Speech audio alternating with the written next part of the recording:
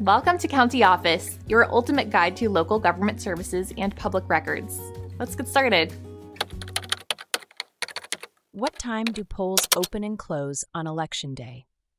When it comes to voting on Election Day, knowing the polling hours is crucial. In New York State, where the general election is set for November 5th, 2024, the polling hours are consistent across the state. Polls in New York State open at 6 a.m. on Election Day. This applies to all counties, ensuring that voters have ample time to cast their ballots early in the morning. On the other hand, polls close at 9 p.m. on Election Day. This late closing time allows voters who may have busy schedules during the day to still make it to the polls after work or other commitments. It's important to note that if you are in line at your poll site by 9 p.m., you still have the right to vote. So even if you're waiting in line as the polls are closing, you won't be turned away.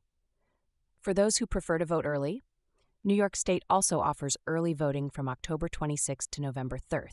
However, the specific hours for early voting may vary depending on the location.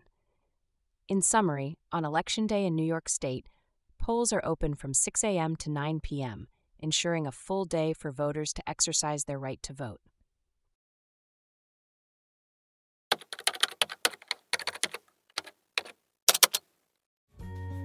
To learn more, check out these links, which you can click in the description below. And feel free to comment your questions. We're here to help. Thanks for tuning in to our video. Please like and subscribe and leave a comment below. See you in the next video.